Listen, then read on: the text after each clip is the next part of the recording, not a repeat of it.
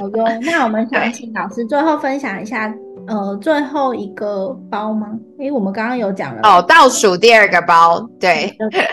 啊，音乐素养很重要的素养。好啊，音乐素养，我是叫什么包去了？音乐素养，啊，教案包，对我想到了，啊，对，这个东西是最重要的。啊，因为它等于结合了这我过去十几年来的一个想法。而且是很具体的，在二零二三年有一盒卡牌叫做“上课不要玩”，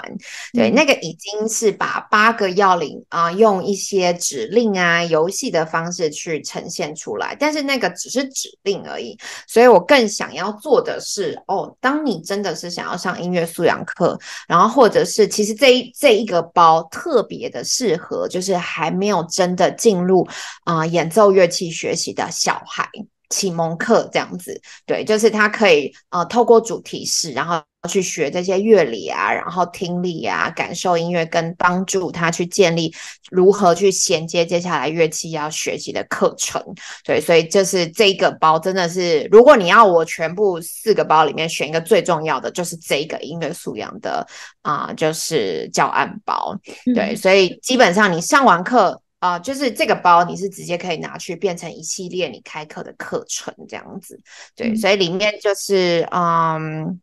有很多不同的主题。那这八堂上完之后，我觉得小朋友其实就已经可以啊，慢慢的走去学习乐器这样子。嗯，非常的棒。而且老师刚刚有提到一个点，就是呃，来参加的老师们非常难得的是，你可以直接。拿着这个教案包去上课哦，就是我不知道在这报名之前大家知不知道这件事情，就是老师非常无私，老师会给你 PPT，会直接把这些教案分享给你们，然后就可以直接上完课立马用喽。所以我觉得真的非常非常的棒。